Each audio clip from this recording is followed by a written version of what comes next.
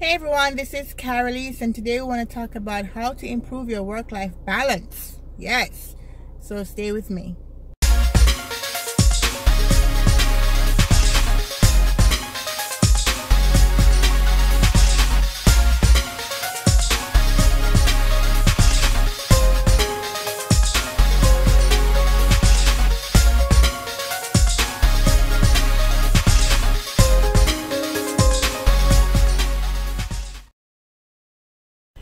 Okay, so I know what you're thinking, right? What the hell did she do with her hair? I cut it! Look! I cut the hair! I cut that sucker right off. and of course, you see, I got my little ombre going on. And it's just because I wanted a change, right? And I'm going to tell you about why I really cut my hair in the next few, so stay to the end. So this video is going to be about how to improve your work-life balance, right? And I, I got down this thought path because I had done the videos on business analysis, uh, soft skills, and I did presentation skills, I did communication skills, I did documentation skills, and I will put the link up here for you to go look at those videos. But there was one video I was promising to do, which was on organization skills. And so when I was thinking about organization skills, I was saying to myself, well, why do people really want to be organized? And it's because you want to be efficient, you want to make sure you get everything done, and you want to save time.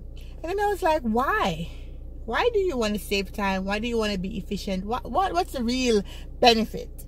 And I realized it's because you want to finish your work so you can spend time doing what you really want to do, what you really like doing. And that led me down the path of what you really, really want by being organized is to have better work life balance.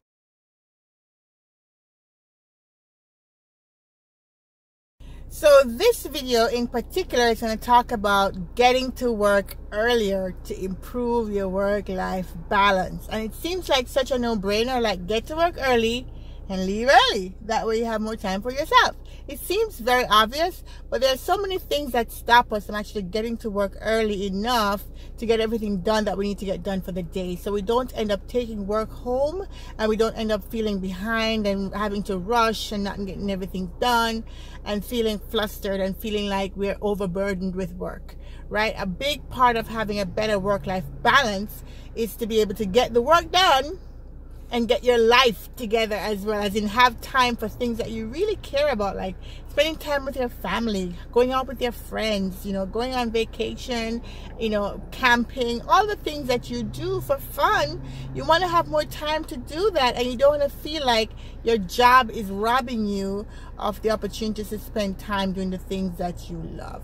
So if you can get to work early you can spend more time quietly working on something before everybody else gets in and then you're having to meet with them and just being distracted. So a part of it is and it's something that i'm struggling with myself and i'm going to work towards as well and that's why i'm sharing it with you because we're doing this together. I'm not telling you because i'm great and i know it and i've been doing it and i'm an expert at it. This is something i'm learning as well. And so it's if you can get in early like two hours before you're supposed to start working you're not saying to do that because you want to give your employers free free labor time. Don't look at it like, oh gosh, I'm I'm working more hours than I'm being paid for. Look at it as I'm doing a little bit extra so I can get more out of my my day. But it's because you can have that quiet time to get things done and then by the time everybody comes in and start, you know, distracting you and taking you away into different meetings and different things, when it comes to leaving at five you can leave. Or whichever hour you leave. You're, you're ready to go. You're packed up. You can get out.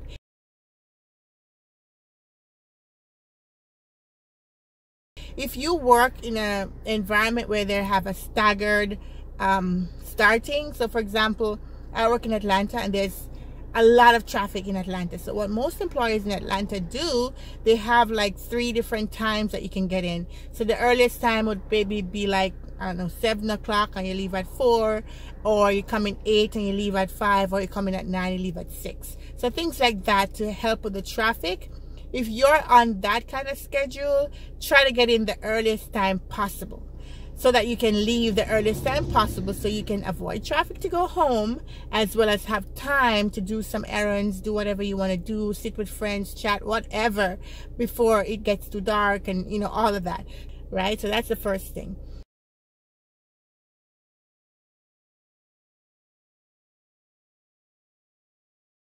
the second thing is what do you actually need to do to get in earlier so as a woman there's much more that we have to do in the mornings to get ready for work. I mean, I always see guys like come in like six o'clock, and I'm like, how do you guys get here so early? we get up, we take a shower, and we're leaving. That's it, they're done, right? But as women, I, I, know for me, I take a long time just getting ready. Getting ready is a lot of work, and I, I did a study on myself to see how much time am I spending doing each task. And I realized I was spending the most time curling my hair so I would wake up, I had long hair. I would wake up, I would curl that thing with the curling iron and I'd be fixing and looking and checking and fixing. And then there was time getting my face together. I put my, you know, my makeup base on and then I put all that stuff. And I was, I did a time study. I was spending too much time just getting myself together, right? So I decided I was going to be drastic and I cut my hair. Mm, shave that off. I am not saying you should do the same thing. I am not advocating that women should go shave their head so they can leave earlier. That is not what I'm saying. I'm saying for me, I'm a little bit more drastic and I thought to myself, what can I do to get in earlier? And this is one of the things that came out of my study of myself.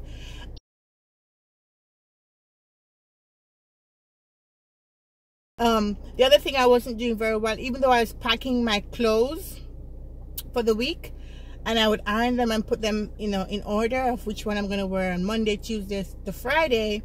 I would wake up in the morning and I would just want to wear something different. I tried on, I'm like, I don't feel like wearing this today. And I would start digging up trying to find something else to wear. And so I wasn't sticking to what I planned to wear. So that took a lot of time to find something else in the morning. So what I do is I plan more than the five days. So I have like seven or eight suits or sets of clothes that I plan to wear just in case I don't feel like that and I can mix and match. And that was one way that I was getting out earlier.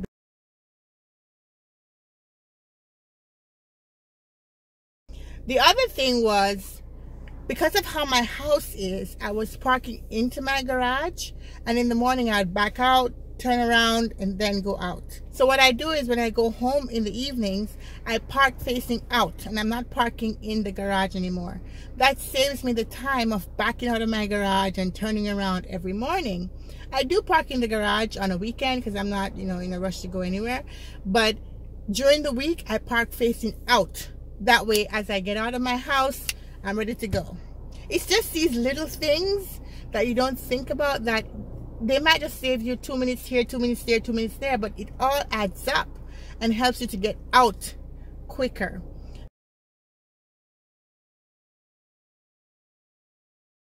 The other thing is breakfast. So I tend to, I want my daughter to eat breakfast in the morning before she gets to school. Her school does provide breakfast, but I I want to be the one to give her breakfast. Like I feel like that's a mommy task, and I want to do it. You know, I want to make sure she has a good breakfast when she gets to school. Her her tummy isn't like empty or anything, and she can learn. So I feel like I have to. So I wake up in the morning, and before I go to bed at night, actually, I think of what I'm going to make for breakfast and if I need to prep it I prep it. Now a lot of parents just put cereal and they eat but my daughter is very picky. So she'll wake up and she'll say mommy I want pancakes or something. A lot of the times I try to make food that is like doable while I'm doing something else. So for example she might want eggs boiled eggs. So I can put the eggs there to boil them while I'm doing something else. So I can multitask. Or if it's pancake I put the pancake in the oven so I can keep going while I'm getting ready. So I have to be smart about what I do. I don't want to be slaving over the stove the entire time in the morning. So I try to find other ways to do it. There are times with some things that you just have to be there. Like if I'm making scrambled eggs, I just have to be there. But I don't make the same thing every morning. And so if there are chances or time opportunities for me to um, make breakfast happen while I'm doing something else, I do it that way too.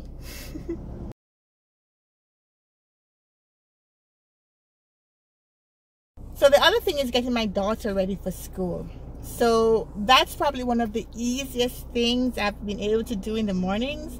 Get my daughter ready for school because she's such she's such an adorable kid. I just pick up what she wants in the night before. I have everything ready for her. I wake her up, she takes a bath. I put on whatever I picked out. She's not very picky about what she's wearing.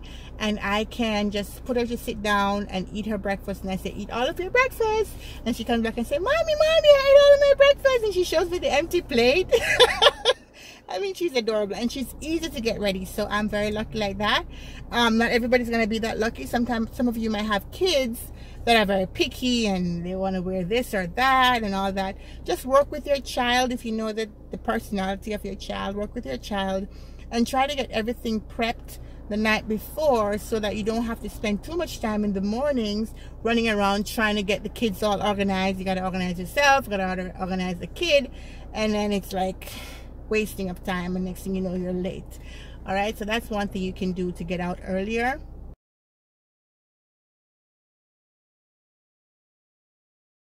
the other thing that I recommend is if you can find a school that is on the way to work like because my child is so young I can choose which you know daycare she goes to. When she goes to high uh, I mean kindergarten then it will be the nearest to my house and I have to figure out that when that time comes. But if you can choose, try to choose something that's en route to your job. I mean, that's obvious. But you'd be surprised how many people like pick a school that they have to do detours and go here and there and turn around and go all kinds of way. That's a lot of um, time that you waste in the mornings just dropping off kids. Um, so if you can find something nearest to your home, that would be best. If not, something on the way to work would be great if you have that choice. Right? That's just something that you can think about.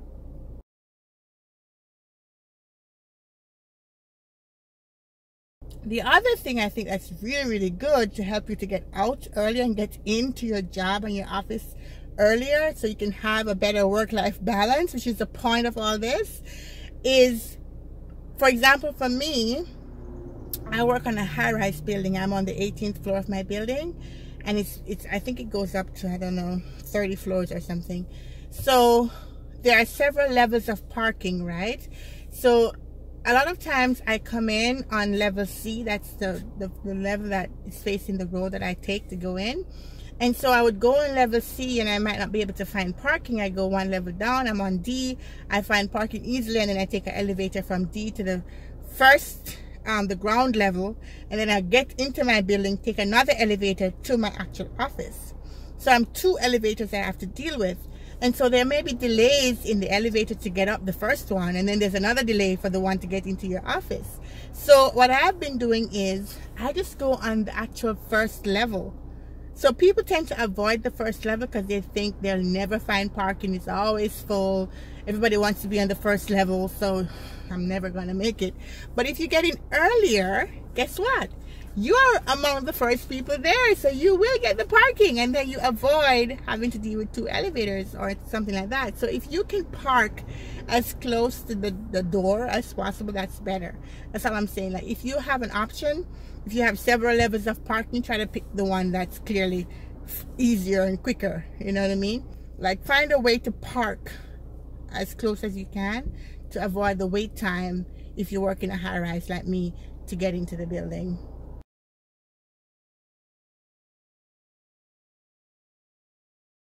So the thing which is very important is there is no point in you going in early and then wasting the time chatting, chit-chatting at the cooler, um, checking Facebook, doing all that stuff before everybody comes in because you're just there early. Makes no sense. The point of you going in early so you can leave early. So what you have to do to complement all of this activity to get in early, once you do get in early, you need to make your plan for the day, your checklist for the day. What do I need to accomplish and what can I do now that I'm here that doesn't depend on somebody else? So if you can start working right away, then do that because when the clock strikes four or five or whatever the time is, based on the time that you got in, you want to be out of there because you have other things to do. So try to get the work for the day done in that day. So if you get in early, just start attacking the day as soon as you get in. Start attacking the day. Start doing it. Start getting stuff. Start sending those emails. Start, you know, work. And then when it's time to take your break, you take your break, you go for your lunch, whatever, you enjoy that. And when it's time to leave, you leave.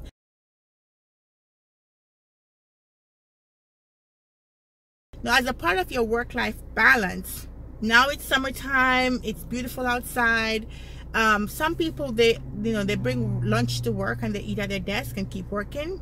That's fine if you know you work in that environment but take a break sometime. Go outside for your lunchtime sit outside if there's a if there's like a chair outside or anything available that you can sit and relax. Go outside. Take a fresh breath. Look at the nature you know. Enjoy something about your day outside of just being at your desk heads down in my office we have a beautiful setup where there's like a fountain and there's chairs. It's really nice outside. I'll do a video one day outside of my office and show you the environment. It's really really nice. Um, just to give yourself that break because a part of your work-life balance is to feel like you are doing something for you as well not just at work and getting work done but you need to be able to balance that out with your own personal life and your own um, sense of being. It helps you too to refresh and then to get back at it. So just these are some of the tips i think could help you. Main video is about getting to work earlier right? So these are the tips i think will be helpful in getting to work earlier. And look out for the other ones that i'll be bringing out in my work-life balance series. And of course guys please subscribe. You know i don't have enough subscribers and i i, I really would like to see that you appreciate my videos by just subscribing i would really appreciate that so subscribe like comment and I will see you next time in the next video in this series. Thank you so much.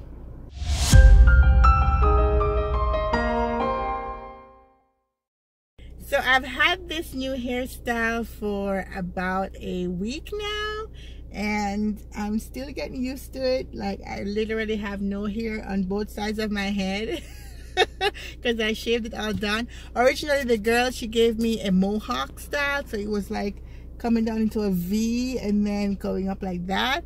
And she was thinking of giving me like a teal color here. And then I was like, oh, I'm not that bold yet.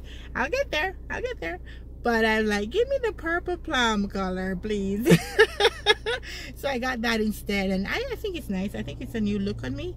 The way it's cut right now, if you can see, there's nothing, I, literally have less hair to deal with right? That's the first thing. And then the little hair that I did I do have all I need to do is literally just hold this thing curl it like that and I would be done and I'm done right? So it, it's it's getting easier to do my hair to get out in the morning.